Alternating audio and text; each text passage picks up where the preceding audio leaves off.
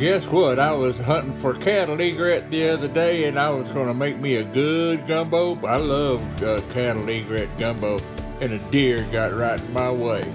Don't believe it.